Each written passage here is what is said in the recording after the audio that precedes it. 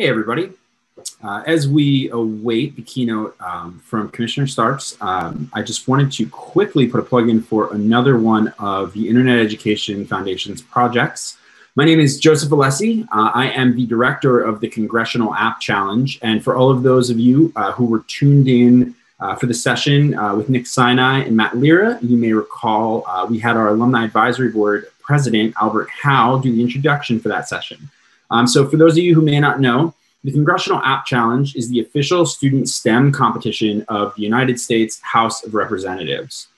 It's been going on in some form uh, since the rules were passed to approve it in 2013. Uh, and it's a competition unlike anything else that's going on uh, in the world. Uh, last year, 308 members of Congress hosted independent congressional app challenges in their districts uh, for thousands of students across 49 states. Um, obviously, this year was majorly affected uh, by COVID and the fallout from that. Education was one of the most affected uh, fields when it came to COVID, especially youth education. Um, so the Congressional App Challenge was there um, as a program that mostly uh, stands in as a remote competition to help fill some of the critical gaps that were left when students were unable to attend school in person. Um, you know, the United States House of Representatives was able to stand in um, and to inspire students to continue to pursue uh, passion for STEM and a career in these fields.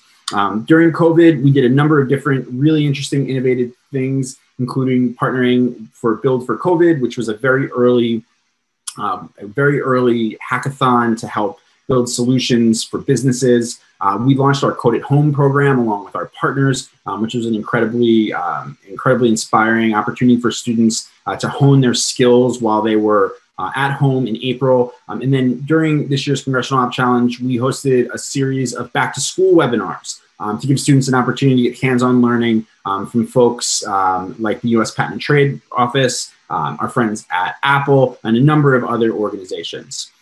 Uh, the Congressional App Challenge in 2020 closed in November, um, and uh, of the thousands of apps we received, over 50% of those apps responded in some way to um, how COVID was affecting the community that these students lived in. So these are locally serving apps, um, really, really inspiring stuff that's going on with these students, uh, and really amazing to see to oversee this program. Um, as you may have noticed earlier, we also have an amazing fledgling alumni network of young um, students who are just working their way through college now. Uh, that is an organization uh, that Albert leads, um, but is a, a, group of about 10 students who help us advise the program um, and continue outreach. Uh, this year, earlier this year, we had them put together a video talking about why it was so important um, for the Congressional App Challenge to continue to go on and what inspired them when they were still in high school to compete in the program. And so I'm going to quickly play that video for you guys now to get a sense of why this program is so important to the students that it serves.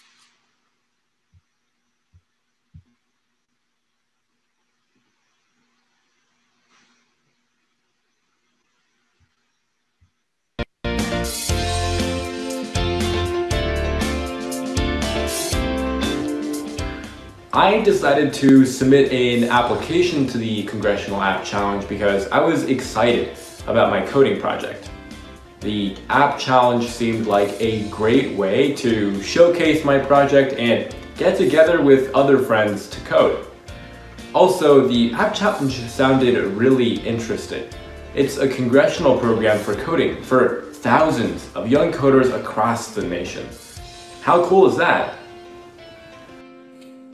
Um, what motivated me to participate in the Congressional App Challenge was that I created a really interesting app that not only could serve Puerto Rico but also the whole nation.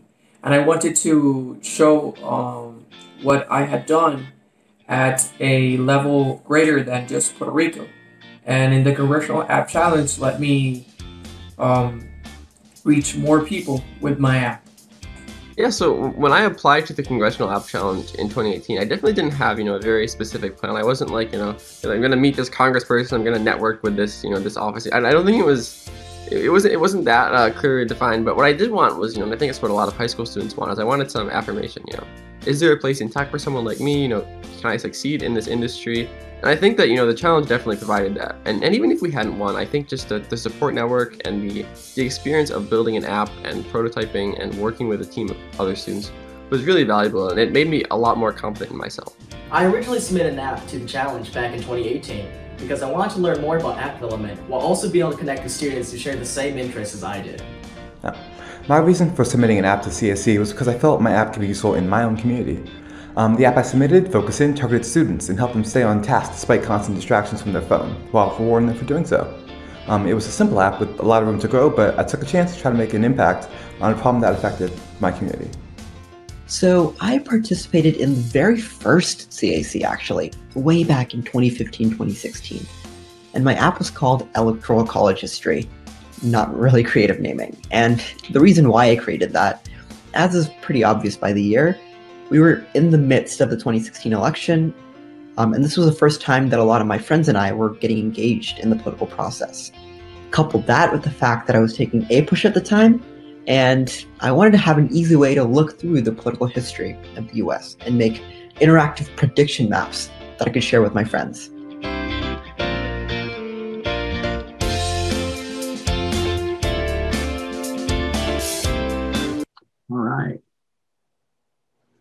And so, uh, I mean, you know, the what these students have been able to do is really absolutely incredible, and um, we're so proud of what the program's been able to accomplish. Uh, we're building a, a, strong domestic pipeline of computer science talent uh, and STEM talent in every corner of the United States, and we can't wait to see where that takes us. Do this all on a very short budget of under $1,000 per district, and so there's lots of room to get involved. Um, if you're interested in getting involved in the Congressional App Challenge, please reach out to us. Our website is congressionalappchallenge.us.